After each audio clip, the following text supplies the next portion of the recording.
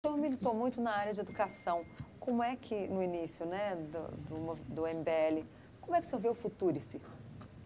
Eu militei muito na área de educação. Você militou um pouco, né? No, eu, é, eu defendi, o que eu, o que eu, sempre defendi foi uma questão de economia do direito, da uhum. gente é, atualizar a legislação, que foi inclusive proposta do, do governo uhum. Bolsonaro, que eu tô, do então candidato Jair Bolsonaro, que eu estou esperando ser efetivada até agora, que é a inversão da pirâmide do investimento. Né? Hoje você tem quatro vezes é, o investimento é, da educação básica vai para o ensino superior. E o ensino superior, em regra, é frequentado, público, em regra, é frequentado pelos mais ricos. Né? Então, basicamente, como a nossa taxação é em cima do consumo, que proporcionalmente onera mais os mais pobres, a gente tem pobre pagando faculdade de rico.